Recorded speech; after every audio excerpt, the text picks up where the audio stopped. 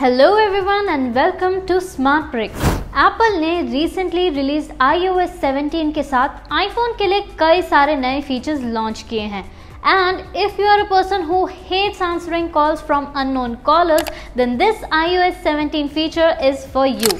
iPhone's live voicemail feature lets you read a transcription of a caller's message in real time. आसान शब्दों में बताएँ तो जब भी आपको कोई कॉल आता है और आप कॉल पिक नहीं करते हैं तो कॉलर आपको वॉइस मैसेज भेज सकता है। और वो मैसेज आपको आपके आईफोन पे मैसेज की तरह डिस्प्ले होता है और आप वो मैसेज पढ़ सकते हैं। And if you find that call to be urgent you can pick up the call or listen to the voice message later on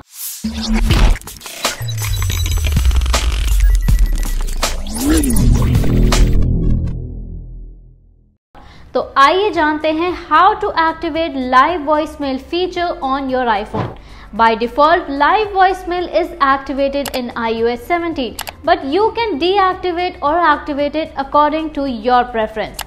however there is a tricky part if you are from India then you have to go to settings then go to general and change region to United States in language and region After changing the region, go to settings again and scroll down to phone settings. Tap on the live voicemail option and tap the toggle next to live voicemail to turn it on if it's not already.